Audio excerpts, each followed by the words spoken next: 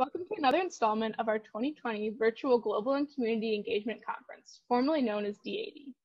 The conference is a dialogue and celebration of our efforts to solve issues that confront the world's poorest 80%. Traditionally, it's a one-day conference featuring multiple in-person panels and breakout sessions. This year, the conference is being delivered virtually throughout the month of October, including a lecture series, a Rose Gallery exhibit, a walking tour, and a series of online interviews with local and global changemakers throughout the Michigan Tech community.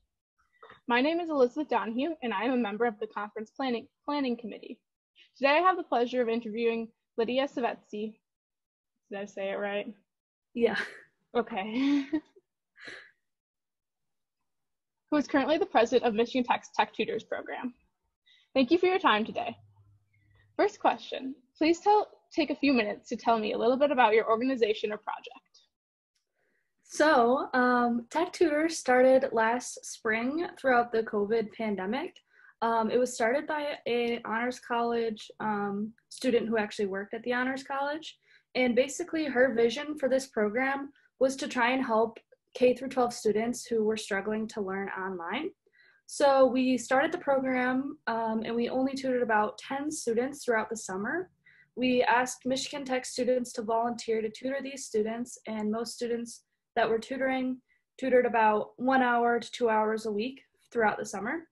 Um, we tutored students um, in all different ages. We tutored some high school students. We were able to help a high school student test out of um, pre pre-calc, which was really awesome and a really good experience for our tutor who who tutored that student because she wanted to become a professor. Um, and then we also tutored like even younger students, like second to um, fifth grade students, and we even were able to complete some science experiments with them um, at home. So that was kind of the goal of the um, program. And so now, now that um, we're able to kind of build the program even more, we're asking um, Michigan Tech students to volunteer to tutor. Right now, we have about 30 tutors signed up to tutor this semester. And um, they will be tutoring K through 12 students just like we did throughout the summer. Um, and it was nice to kind of have that summer um, program as well because we were able to kind of work out all of the issues and stuff so that we can make it run smoothly this fall. Um, and I think that this program is needed now more than ever because um, Houghton schools have just closed down for the next few weeks and tech is closing down for the next few weeks. So learning online is going to be even more challenging. So I think this program will really help some of those students who are struggling to learn online. Yeah, I agree. That's awesome. Um, how does your work or project connect with the mission of the global of the GCEC conference and or this year's theme of the pursuit of social equity and representation? Yeah, so we are definitely trying to um, help those students who are struggling on to learn online and some of them um, might have um, struggles learning because of their home environment or because they have learning disabilities or things like that. So that is one thing that we are trying to cater towards. We are um, communicating with the school counselors um, to make sure that we're tutoring um, all like students who are in need, not just um, students who hear about this program, but like we're making sure that students who might not hear about it will hear about it and are able to get free tutoring. Um, I think that the fact that we're offering free tutoring is another way that we're kind of helping with um, social equity um, because we are trying to tutor without um, having anyone pay for this, this these services. Do you guys happen to tutor for multiple types of languages? We um, tutor French and Spanish so far, um, so that has been really cool. Um, but I'm pretty sure the Houghton schools only offer Spanish, so um, most of our tutors have just been tutoring Spanish. I think you're right about the Houghton schools. I just think that's another way to pursue representation tutoring. Yeah, that's a good point. Yeah. So, how did you get involved with this work, and how has it impacted you personally and the communities you serve? Um, so, I got involved because one of my professors um, talked to me about this program that they were kind of starting. They hadn't really made anything official yet. Their vision was really just to help K through 12 students who were struggling to learn online. So then um, we, I kind of was like a part of the leadership group who kind of started the program up, and um, then the person whose idea this was um, had graduated and it is now going to med school. So it was kind of up to me to like step up to the plate and become the president of the org, um, which has been really awesome for me because I've learned a lot and I've also been able to help a lot of students, which has been really awesome.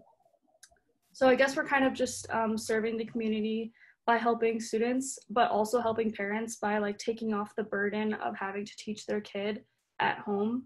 Um, so that's kind of what we're trying to do. Yeah, I think that's huge with transitioning to online, giving parents like that hour of break just to like have them learn with someone else. And I think it'll be good for the kids to not feel so surrounded in their home environment as well. Yeah, but, definitely. Yeah. But yeah, wrap up our time. Oh, go ahead.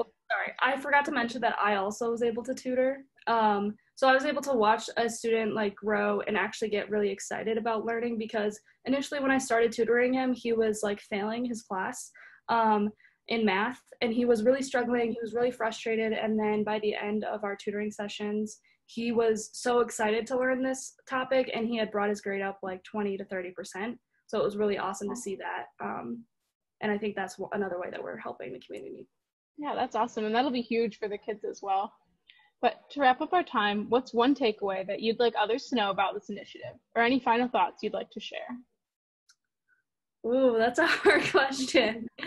um, I guess one takeaway would be that um, it is important to stay connected during this time and this program is really striving to like help students stay connected to their learning and also to help mentor these students so that they can become even um, better students in the future teach them good um, studying skills and things like that. So um, i guess it's just important to like stay connected during this pandemic. And this is what this program is trying to do. So in closing, please provide us with your contact information if someone else would like to learn more or get involved. Yeah, so we actually have a website um, that I can send you a link to, and you can also email techtutors at mtu.edu anytime, um, or you can email me at my MTU email as well. Thanks for joining us for this interview. Be sure to check out all of our interviews with other changemakers. Simply go to mtu.edu and enter Global and Community Engagement Conference into the search tab. Have a great day.